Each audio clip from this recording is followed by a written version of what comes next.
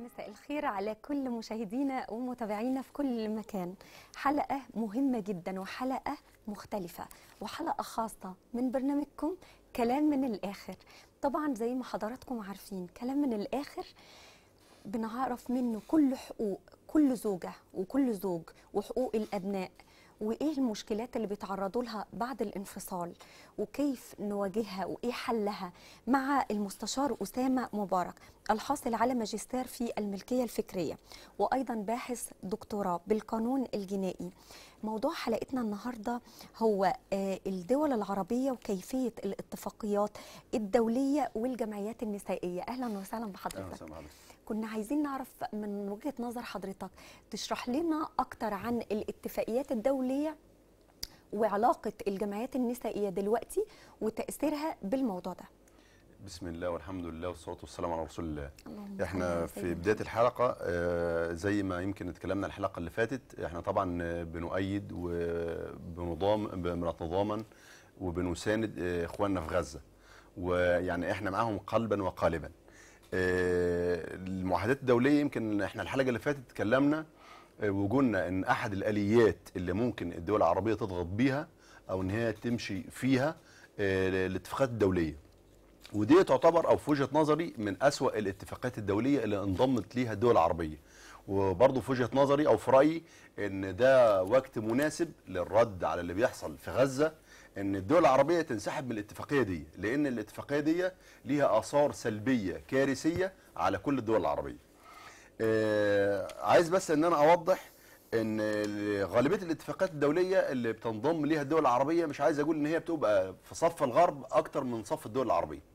يعني طبعا إحنا وطبقا للقانون الدولي مش ملتزمين. هي الاتفاقات الدولية دي بتبقى اختيارية يعني هي مش مش بتبقى إلزامية على الدول.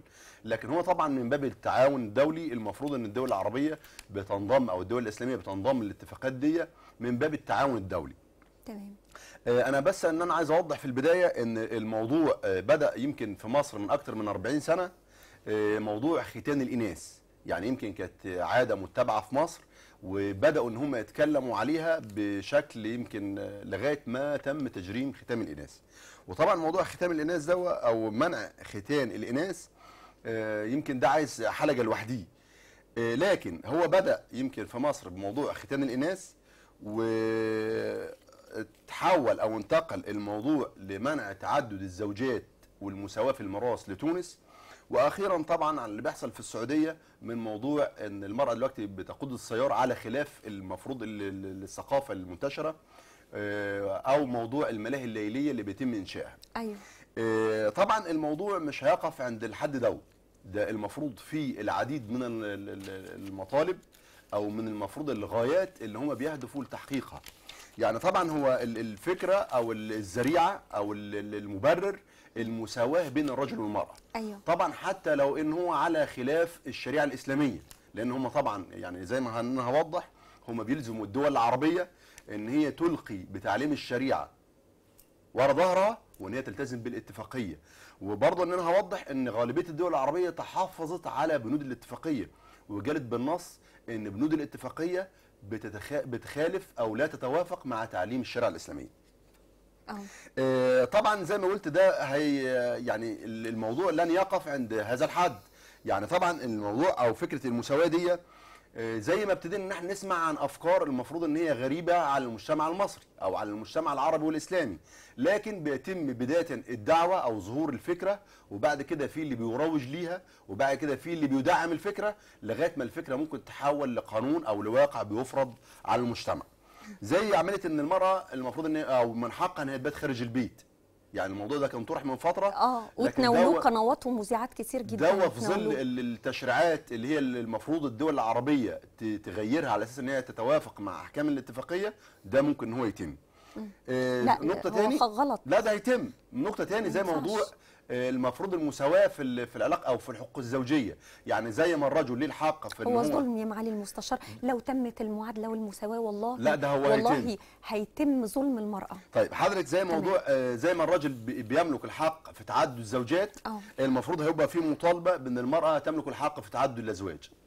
لا آه، يمكن أنا بقول لحضرتك يعني كل الكلام ده وهيتم يا نهار. آه، عملية التطليق يعني وإن كان القانون دلوقتي توسع وأعطى للمرأة الحق في وأتاح العديد من الوسائل والطرق في إنهاء العلاقة الزوجية زي ما اتكلمنا أكتر من مرة أيوة. لكن هو الهدف برضو المساواة إن زي ما الرجل بيملك ده طبقا للشريعة الرجل بيملك منفردا حق إنهاء العلاقة الزوجية ده هيبقى للمرأة يعني ليه المرأة زي الخلع لا الآن. مش خلع دي هي آه. هتبقى مباشرة لها الحق إن هي تطلق يعني تقول له. أنت طالق بالظبط آه، طبعا دوا برضو تحت آه، فكر أو مسمى إن المرأة بتملك حرية التصرف في جسدها ده آه. ممكن إن هو برضو داخلها في علاقات غير مشروعة ولا تحاسب على الكلام ده ده قانونيا ممكن آه ده كل ده هيصاغ في صورة قانون وأنا بعد ده- كده أنا هوضح يعني إن شاء الله مش في الحلقة قانون. القادمة هقدم مشروع قانون آه. مقدم للبرلمان في الكوارث دي يعني في إجراءات. عملية يعني حاليا في, في الطريق لتنفيذ الكلام ده لو تم تنفيذه هتبقى فيها هدم للأسر في والقيم. والمبادئ يعني يا جماعة إحنا كعرب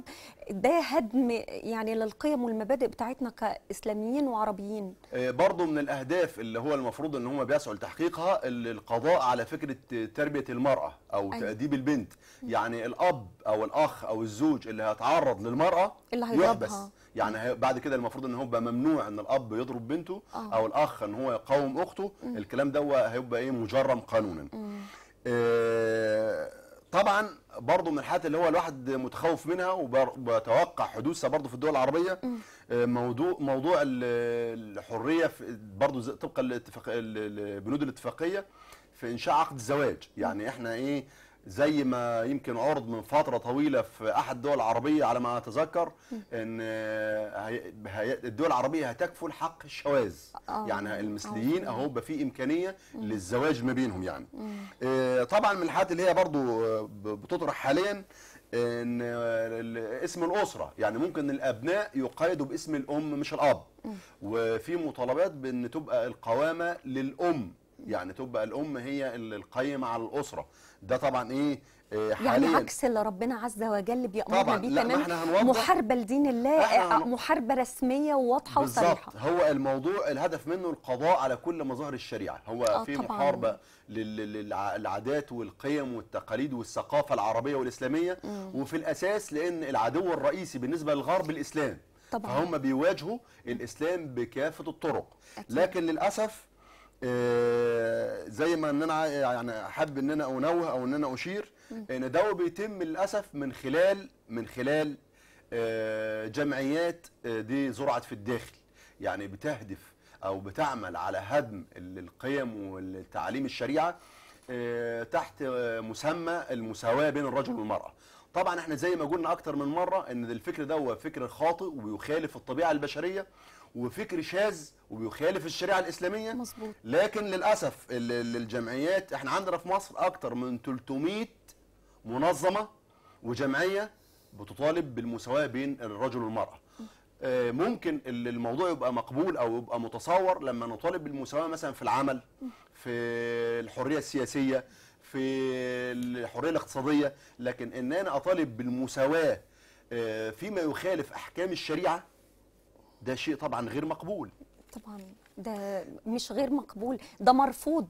هو مش مش غير مقبول هو مرفوض تماما تماما بس أنا عايز إن أنا. أوضح إن بعض ال- ال- قوم المظاهر عفوا يعني اتفضل. حضرتك قلت في- ضمن كلام حضرتك إن آه، هينص على آه، آه، باكفال أو كفالة حق الشذوذ اللي هو ربنا عز وجل ذكر في قصة سيدنا لوط عليه السلام إن أقوى وأقصى عق- عقاب تم كان لعقاب قوم لوط اللي هو طبعاً ج- وجعلنا ساف... عليها سافلها. هو الفكرة بنح- إن يعني هم يحاربوا ربنا. إن هم أساسا يعني ابتدعوا الفعل ده يعني ربنا عاقبهم. يعني سيدنا لوط لما قال هؤلاء بناتي هن أطهر لكم. يعني أنتوا بقى عندكم ربنا اداكم المفروض زوجات. آه. آه يعني هم ربنا خلاهم أهل الموضوع ده وانتوا تسيبوا الزوجات وتروحوا تع- تعملوا الفعل القذر ده فهذا القانون آه. آه، محارب لشريعة آه الله. وطبعا هم كان ردهم يعني يعني ردهم نفسه آه، كان شيء غريب. آه، يعني مستهجن إن هم إيه يعني زي بيقولوا أنت مالكش دخل بالقصة دي خلينا إحنا نعمل اللي إحنا عايزينه أيوه تمام ال- اللي هو كفالة الحرية اللي دلوقتي بيطالبوا بيها آه الحرية القانون ما هو. للأسف كل كارثة بترتكب بتبقى تحت فكره مسمى الحرية الحرية. آه طبعا المفروض إن لو إن إحنا بنؤيد موضوع الحرية بس بتبقى في إطار ضابط ما تبقاش حرية مطلقة لأن أنا بتقف حريتي عند الضرر أو المساس بحرية الآخرين أكيد. لكن إن أنا أكفل مثلا مساواة على حساب الأسرة أو على حساب المجتمع وللأسف ده اللي بيتم. إن أنا حاليا بيتم آه، مجاملة المرأة وإن أنا بصيغ قوانين بتخالف تعاليم الشريعة لا لشيء إلا لأن أنا أرضي المنظمات النسائية. والإضرار بالمرأة يا فندم يعني حضرتك لما إحنا بنقول للمرأة أنت هتبقي أنت المذر اسم الأولاد باسمك وأنت اللي هتقوميهم وأنت القوامة عليكي دي منتهى الظلم يا جماعة للمرأة هو اللي بيتم ظلم للأسف. وصريح وواضح لأن الراجل اتخلق علشان مكلف بالمسؤولية إن هو, اللي يصرف وهو هو بس حضرتك يعني أنا معلش أنا. بس في سؤال آه، بيجول في خاطري من فترة طويلة إيه؟ آه، أنا كل ما بشاهد ناشطة أو حقوقية بت- بتدافع أو بتتكلم عن حقوق المرأة بسأل سؤال ونفسي واحدة تطلع تجاوب على السؤال ده أيوة. أو ترد على السؤال ده إذا كان آه، إذا كانت هي بتطالب بالمساواة وان إحنا نخالف تعاليم الشريعة الإسلامية وان إحنا نلقي بتعاليم الشريعة أو نضرب الحائط. بعد- آه، عرض الحائط. عرض الحائط. السؤال السؤال السؤال ليه دايما الجماعات النسائية بتتمسك بحقوقها؟ اللي اقر اللي اقرتها ليها الشريعة الإسلامية؟ يعني هي بتعرف إن في مهر. بتعرف إن في نفقة متعه تمسك فيها بقى. دي بتمسك فيها. لكن اللي بيخالف هواها بتقول لك لا ده ما ينفعش. هيمشوها على حق على مزاجهم. على مز... يعني هي بتاخد إحنا طالما إن في مساواة أو إن هم بيطالبوا بمساواة إحنا موافقين على المساواة بس بشروط إن يكون في مساواة فعليا. إن ما يبقاش في نفقة زوجية. أيوه. تاخد نفقة زوجية ليه؟ تبقى المرأة مكلفة بإن هي تنفق على الأسرة. أيوة. إن الزوج لا يتحمل بأي أعباء. مفيش حاجة اسمها منقولات زوجية. الزوج يجهز ليه؟ يتم إعداد مسكن الزوجية من الاثنين إن لما تطلق ما تاخدش نفقه متعه ولا نفقة عدة. يبقى نرجع تاني نلتزم بالشريعة الإسلامية مشاهدينا الكرام لأن فعلا هتبقى غابة. يعني إحنا لو آه، مشينا بهذا ال concept وهذا المنطق المفهوم. إحنا هنمشي آه هو الفكرة مش الغابة. حضرتك هو الفكرة مش إن- بقى إن إحنا ما فيش responsibility ما فيش أي responsibility لا للراجل ولا للمرأة. هو حضرتك هو الفكرة برضو إن هو مش موضوع كغابة أنا في رأيي وزي ما حضرتك أشرت أكتر من مرة. إن المساواة بيضر بالمرأة. أيوه. ليه؟ هي دلوقتي مقرر ليها حقوق يعني مش عايز أقول حقوق. واسعة جدا. أيوة. هي بتاخد مسكن الزوجية. صح. آه، الحضانة ليها. طيب موضوع زي موضوع الحضانة. في المساواة المفروض ما يبقاش ليها الحضانة. يبقى هنا مين اللي بيضار المرأة لأن لو هيتم المساواة المفروض أن يبقى يتم اقتسام الأبناء أو يتم اقتسام الوقت. يعني مثلا أن ممكن يبقى الأبناء مع ال- الأم شهر والأب شهر. يعني ده طبعا إيه على خلاف على خلاف الشريعة المقرر. أنا بس إن أنا عايز إن أنا أوضح إن لأن كان عقب إنتهاء كل حلقة بتجيل العديد والعديد من الاتصالات. يعني كتير من السادة المشاهدين بيسألوا إحنا ليه وصلنا للدرجة دي؟ أيوة. ليه في انحياز واضح مع باتجاه المرأة. وفي إضرار بالأسرة وبالمجتمع؟ عايز بس إن أنا أوضح إن طبعا للأسف للأسف آه، مش عايز أقول إن ال- الرجالة نايمة. إن الستات بيتحركوا. طبعا المستوى المحلي والمستوى الإقليمي. يعني أنا زي ما هوضح هم شغالين. لكن إحنا بنتعامل مع الأمور ال- ال- الرجالة بيفاجئوا إن في قوانين أو في قرارات بتضر بال- بالأسرة بتضر بالزوج. لكن هو بيقف يتفرج مش بياخد أي إجراء. أيوه. آه، وعايز برضو إن أنا أوضح إن طبعا بيتم تجنيد آه، ناشطين حقوقيين أيوة. آه، رجال دين آه، لل- للدفاع عن حقوق المرأة. يعني أنا للأسف أنا بلاقي غالبية رجال الدين مش بيتكلموا عن حق الطاعة أو أن ال- ال- ال- القوامة للرجل أو الحفاظ على الأسرة. لا هو كله بيتكلم عن حقوق المرأة. ما فيش حد بيجي بيتناول حقوق الزوج أو حقوق الرجل للأسف يعني. آه، طبعا أنا هتكلم هنا عن الاتفاقيات أو على المستوى الدولي إن في العديد من الاتفاقيات اللي هي بتتكلم عن حقوق المرأة. أيوه. في عجالة لأن يعني أيوة. وإن كانت في اتفاقيات بتتكلم عن حقوق المراه بشكل مباشر وفي بعض الاتفاقيات بتتكلم بشكل غير مباشر. آه، ميثاق الأمم المتحدة سنة 1945 الإعلان العالمي لحقوق الإنسان الذي اعتمدته الأمم المتحدة في سنة 48 الاتفاقية الخاصة بالحقوق السياسية للمرأة عام 52 أيوة. الاتفاقية الخاصة بجنسية المرأة المتزوجة عام 57 اتفاقية الرضا في الزواج والسن الأدنى وتسجيل الزواج عام 62 العهد الدولي الخاص بالحقوق الاقتصادية والاجتماعية والثقافية سنة 66 أيوه. الإعلان العالمي الخاص بالقضاء على التمييز ضد المرأة سنة 67 الإعلان العالمي للقضاء على العنف ضد المرأة سنة 93 ت- آه حديث آه آه. المؤتمرات. المؤتمر العالمي الأول للمرأة في المكسيك سنة 75 آه. مؤتمر كوبنهاجن سنة 1980 مؤتمر نيروبي في سنة 85 مؤتمر البيئة والتنمية سنة 92 مؤتمر فيينا سنة 1993 وده المعروف ال- بالمؤتمر العالمي لحقوق الإنسان. آه المؤتمر الدولي للسكان والتنمية في القاهرة سنة 94 المؤتمر العالمي الرابع المعني بالمرأة في بكين الصين سنة 1995 اجتماع الدورة الاستثنائية 23 للجمعية العامة للأمم المتحدة سنة 2000 بعنوان المرأة عام 2000 وده كانت بتتكلم عن المساواة بين الجنسين والتنمية والسلام في القرن ال 21 كانت في نيويورك. القرارات الدولية.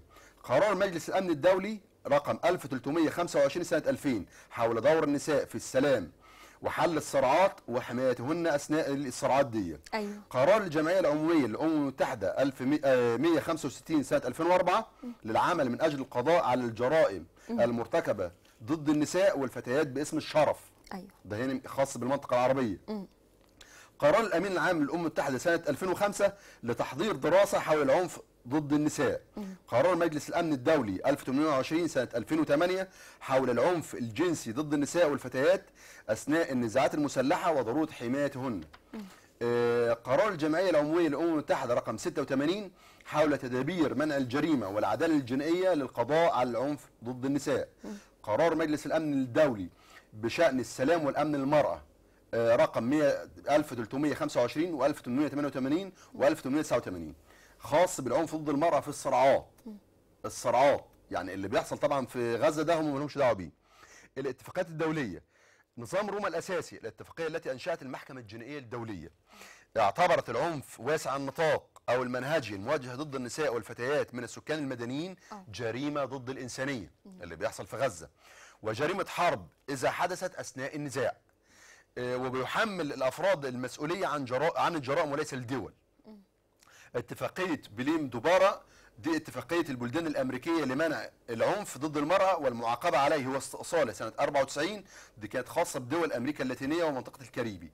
اتفاقية المجلس الأوروبي لمنع ومكافحه العنف ضد المرأة والعنف المنزلي اللي بيحصل داخل الأسرة سنة 2011 أيوه. اتفاقية اسطنبول ومنع ومكافحه العنف ضد المرأة سنة 2016 بروتوكول مابوتو الأفريقي سنة 2003 الملحق بال- بالميثاق الأفريقي لحقوق الإنسان والشعوب بشأن حقوق المرأة في أفريقيا. أيوه بروتوكول منع وقمع ومعاقبة الإتجار بالأشخاص وبخاصة النساء والأطفال المكمل لاتفاقية الأمم المتحدة لمكافحة الجريمة المنظمة.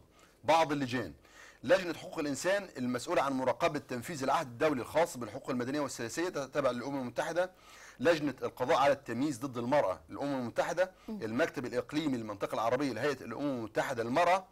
حركة مساواة العالمية ومجموعة العنف ضد المرأة. ودي كانت بتهدف لتحقيق أو نحو قوانين أكثر عدالة للأسرة المسلمة وده كان مقر في ماليزيا. أيوه. وهنا أنا يعني بتساءل آه، يعني هل القوانين اللي أقرتها الشريعة الإسلامية واللي موجودة القوانين الخاصة بالأسرة أيوه. دي يعني غير عادلة أو ظالمة؟ آه، الأسكوا ودي لجنة الأمم المتحدة الاقتصادية والاجتماعية لغرب آسيا. وطبعا ال- الكارثة عندنا هنا أو اللي إحنا موضوع الحلقة اتفاقية السيداو. آه. والسيداو دي دي بتعتبر اختصار لل- للمسمى الإنجليزي بتاعها The Convention of All Elimination of All Forms Discrimination Against Women يعني آه، اتفاقية القضاء على جميع أشكال التمييز ضد المرأة. الاتفاقية دي آه، أو المشهورة باتفاقية السيداو دي المفروض إن هي بتهدف لإلغاء كافة أشكال التمييز ضد المرأة.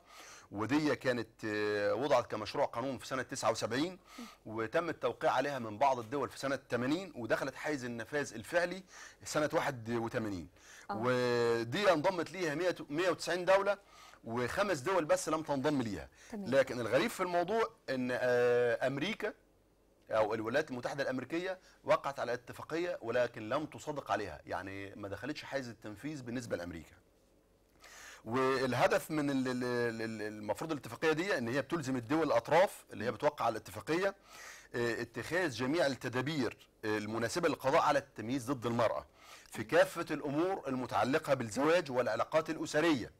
يعني المفروض أي شكل بيشير لتمييز بين الرجل والمرأة ده يتم القضاء عليه.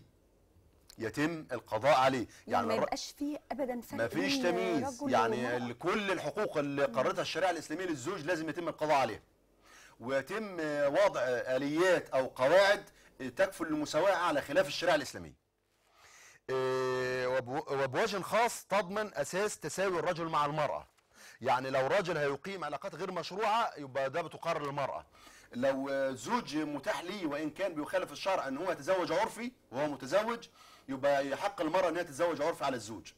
كل أشكال اللي هي بتخالف الشريعة اللي الإسلامية بتدمر المجتمع الإسلامي آه هيتم والعربي. للمرأة. آه. آه، طبعا غ- غالبية الدول العربية هم عايزين يخلونا زيهم. بالظبط. بس للأسف للأسف يهدوا ال- ال- الأسرة برضه اللي أنا بتعجب. منه العربي ده. بيتم من خلال تأييد داخلي للجمعيات والمنظمات الموجودة في مصر. يعني برضه أنا زي ما هشير أصل حضرتك يعني يا معالي المستشار لو ده تم تطبيقه آه، ده في تدمير مباشر للقيم والمبادئ والأسر العربية كافه مش المصرية بس طبعا ما هو هو ال- ال- الموضوع. بيخص الدول العربية ككل لكن أنا. برضه عشان الوقت أيوة. أنا بس إن أنا عايز إن أنا أشير إن الدول العربية تحافظت على اتفاقيه آه. وقالت إن بتخالف تعليم الشريعة الإسلامية أيوة. وأنا هنا مش هتكلم عن الدول العربية مصر أو السعودية أو الدول اللي هي ابدت تحفظات أيوة. وإن كانت الاتفاقية قالت بيحظر الدول دي إن هي تتحفظ رغم إن القانون الدولي بيعطي الدول في حالة توقيع أو إن هي تصادق على أي اتفاقية إن هي تبدي أي تحفظ أو اعتراض. أيوه. أنا بس عايز إن أنا أوضح آه، تحفظات اللي هي ابدتها إسرائيل مش الدول العربية. إسرائيل قالت إيه لما جت توقع على الاتفاقية؟ قالت تعرب دولة إسرائيل عن تحفظها فيما يتعلق بالمادة 7 فقرة ب من الاتفاقية وذلك بخ- بخصوص تعيين النساء قضيات. يعني الإسرائيل اعترض قالت ما ينفعش ان إحنا نعين النساء في إسرائيل قضيات. إيه ده؟ طب ما هو ما دام القانون بقى بالنسبة له حرية مطلقة ينفذوا ده كمان. إسرائيل مش عايز أقول لحضرتك آه، آه، يعني تمسك جداً. الشريعة اليهودية أكثر من المسلمين بتحترم تعليم الشريعة. آه، وقالت آه، تعيين النساء قضيات في المحاكم الدينية حيث تحرم ذلك قوانين أي من الطوائف الدينية في إسرائيل. وقالت إيه؟ وقالت تعرب دولة إسرائيل. ازد- ازدواجية المعايير. لا هو مش هنا ازدواجية بالعكس ده موقف يحترم لاسرائيل إن هي لما لقت الاتفاقية هتخالف يعني لينا الشريعة إحنا اليهودية. إحنا نهد ال- بالنسبة لهم هم إن إحنا نهد الشريعة الإسلامية لكن بالنسبة لهم هم يحافظوا على الشريعة بالظبط. اليهودية. آه ما ده أنا برضه بقصد إن كان المفروض الدول العربية تقف نفس الموقف برضه أيوة. تقف بحزم ضد آه، أي نص بيخالف تعليم الشريعة الإسلامية. مظبوط. وقالت تعرب دولة إسرائيل بموجب هذا النص عن تحفظها فيما يتعلق بالمادة 16 من الاتفاقية. من حيث أن قوانين الأحوال الشخصية في إسرائيل من حيث أن قوانين الأحوال الشخصية الملزمة لمختلف الطوائف الدينية في إسرائيل أيوه. لا تتوافق لا تتوافق مع تلك المادة. يعني قانون الأحوال الشخصية بت- بتتعارض مع المادة 16 من الاتفاقية. ده في إسرائيل مش في الدول العربية. وكذلك الفقرة واهم النقط بقى يا معالي المستشار لأن فاضل معانا دقيقة واحدة بس طيب إحنا أهم النقط باختصار هي باختصار. الاتفاقية يعني آه. أنا برضو آه، يا ريت أو بأمل لأن أنا هنا ما أقدرش إن أنا أطلب آه، أنا بأشير أن الاتفاقية بتمثل كارثة على الدول العربية. طبعا. آه، في المادة 2 آه، بيطلب من الدول العربية إن هي تخالف أحكام الشريعة الإسلامية. آه، في مواد يعني هي يمكن الوقت لن يسمح لكن في مواد بتنص مباشرة أو بتحظر على الدول العربية إن هي تبدي أي تحفظات وإن هي تسحب التحفظات بتاعتها طبقا للقانون الدولي إن من حق الدول العربية إن هي تنسحب من الاتفاقيات الدولية اللي هي بتمس الأمن والسلم آه. الاجتماعي داخل الدولة أيوة. وأنا في رأيي وطبقا لنصوص الاتفاقية والاتفاقية باللغة العربية اسمها اتفاقية القضاء على جميع أشكال التمييز ضد المرأة الاتفاقية دي الاتفاقية دي أو المعروف باسم السيداو وبرضه إن أنا عايز إن أنا أشير إن تم التعتيم على الاتفاقية. يعني الاتفاقية لم يتم عرضها أو نشرها أو التوعية بخطورة الاتفاقية. غالبية الدول العربية وقعت على الاتفاقية من تحت لتحت في السر. تمام. فأنا بدعو ل- ل- إن إحنا ننسحب من تلك الاتفاقية. أكيد حضرتك كل حلقة آه، بتوجهنا وبتدعمنا وبتدينا معلومات آه، في منتهى الخطورة إن إحنا لازم ننتبه ليها. وكتخصصك وكمحامي كبير حضرتك دايما بتنبه أو بتقول يا جماعة نخلي بالنا آه، مش أي قانون نقدر نمضي عليه أو نوافق عليه لأنه أحيانا بيبقى موجه لهدم الأسر العربية والمصرية بصورة خاصة جدا وهدم الشريعة الإسلامية. الوقت مع حضرتك بيخلص. بسرعة جدا. مشاهدينا وصلنا لنهاية حلقتنا. آه، اتشرفت بيكم. يا رب تكون الحلقة مفيدة وممتعة. كنت معكم دينا حمدي.